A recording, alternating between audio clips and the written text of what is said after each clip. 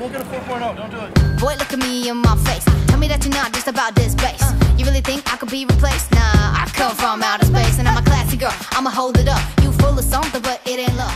And what we got is Hi everyone, my name's Kimbo from Cal TV Entertainment, and today I'm going to see how willing people are to risk their GPA by stepping on the university seal. Excuse me!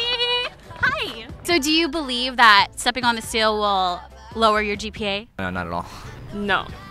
No, I don't. I don't actually believe it, but you'll still catch me actively dodging it. Ah, so you've given in to social pressure. Social pressure. Who knows? Who knows?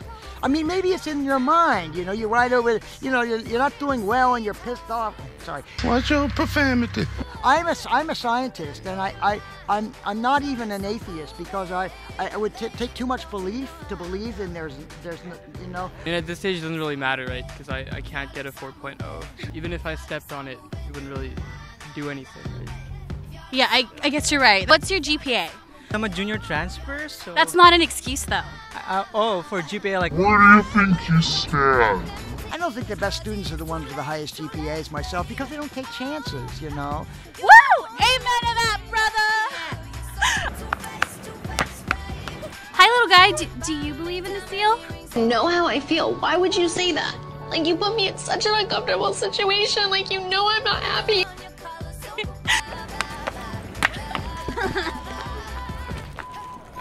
Gonna drop out now.